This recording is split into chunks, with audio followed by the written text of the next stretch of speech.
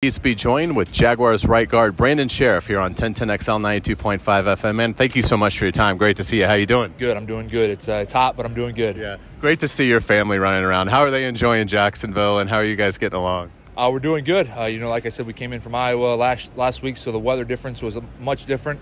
Uh, kids go to sleep a lot earlier when they're a little bit more tired, so it's been nice. Uh, but it's fun to see them uh, run around and just enjoy each and every, each and all, all the teammates. Know, all the O linemen get together with uh, my son Easton, so it's fun to see him hang around with them. Yeah, that's very cool. How are you guys enjoying now as you go into year two? Just getting used to the city and, and things like that. Uh, good. You know, we love it here. We love uh, every aspect of it. Uh, you know, like I said, we're from Iowa, so we're used to the four seasons. So uh, in January, when it's 90 degrees, it's, yeah. it's kind of different for us. So uh, we're enjoying it, and uh, we're just excited to be here. Brandon, obviously, last year you guys produced a 1,100 yard rusher. Trevor wasn't sacked very much.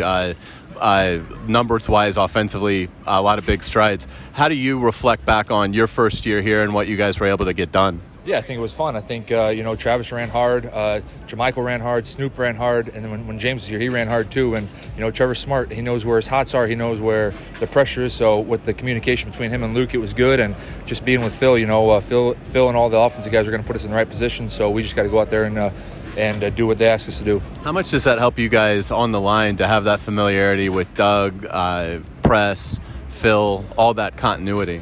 It's good, you know. From year one, you have to you have to you know meet everybody, know what they're about, you know, learn the whole system. In year two, you know, it's just like you're you hit the ground running. You know, you know what to expect. You know what camp's going to be like. You know what Doug's type of practices are going to be like. So, uh, and then obviously I've been familiar with Phil, and he's going to work us. He's going to work us hard. So it's it's been good, and uh, we're just excited to be here. How do you kind of ramp it up? Uh, you know, you all pro in this league. I mean, you you've done it for a long time. What's sort of the timeline that you have as far as getting yourself ready for September 10th at the Colts? Uh, it's just you know just trying to improve uh, one day at a time. You know, uh, um, just taking what Phil teaches us that day and taking it to the field. And then uh, I've had many mentors in my life, so it's just trying to help trying to help the other people so that we can all five of us can you know play on the same page and, and become one. Doug said today, you know, he appreciates your calmness, that you bring a calmness to the group uh, that he thinks is very vital, particularly since you were next to a rookie center last year, going to be next to a rookie right tackle, at least for a portion of this season. Uh, how much pride do you take in that and your demeanor in leading these guys? Uh, good. You know, I hope I hope that calmness is a good thing. Uh, you know, uh, uh, but I've learned, you know, never to, to get too high or too low.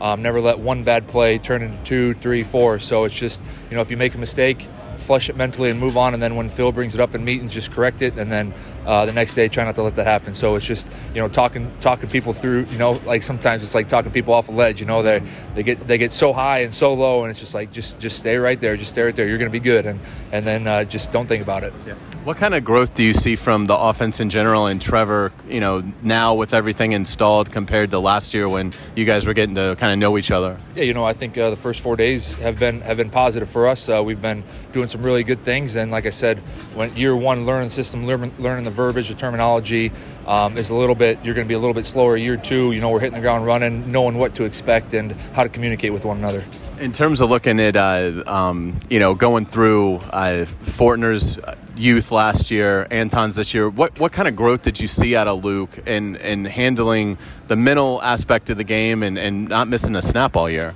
Yeah, you know he had a heck of a rookie year, and I, I said last year that he was one of the smartest rookies I ever played with, um, and just seeing. Uh, he got a little bit more confident. He got more, more and more confident. He was starting to communicate.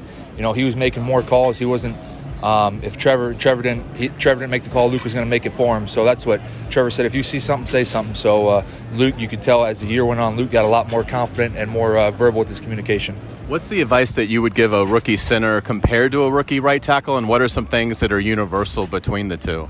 I would say you know you're going against. Uh, you're going against guys that you played, uh, the best guys you played against in college every day. So you just got to bring your best. You know, they're going to win some, you're going to win some. Like I said, don't get too high, too low. Stay the course and just try to get better. Like Doug says, 1% better each day.